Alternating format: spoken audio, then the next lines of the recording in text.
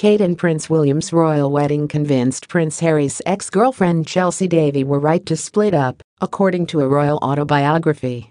Zimbabwean-born Miss Davy was in an on-off relationship with the prince when she was invited to his brother Prince William's 2011 wedding to have then Kate Middleton as his plus one.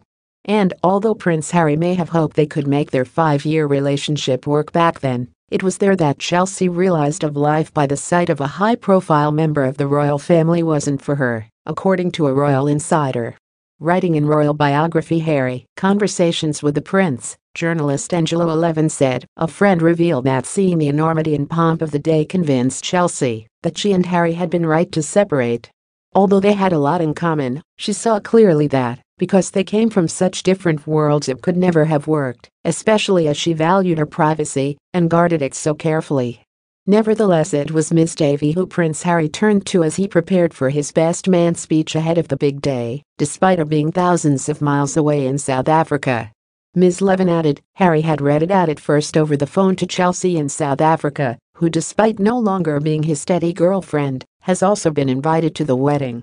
She suggested he remove some of the racier anecdotes, including a reference to Kate's killer legs, as she didn't think the Queen would take kindly to laddish humor. The Zimbabwean lawyer and entrepreneur started dating Prince Harry in early 2004 and remained seeing each other on and off until 2010.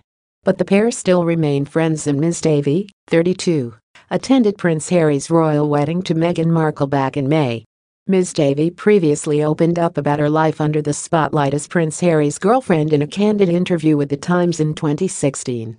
She said, It was so full on. Crazy and scary and uncomfortable. I found it very difficult when it was bad. I couldn't cope. I was trying to be a normal kid, and it was horrible. Meanwhile, before he met US actress Meghan, Harry opened up about how he suffered massive paranoia when talking to the opposite sex. He previously told an American TV channel, even if I talk to a girl, that person is then suddenly my wife and people go knocking on her door. If or when I do find a girlfriend, I will do my utmost to ensure that me and her can get to the point where we're comfortable before the massive invasion that is inevitably going to happen into her privacy. And that's exactly what the Duke of Sussex managed to do as he kept his blossoming romance with his now wife, Meghan, secret for six months before it went public.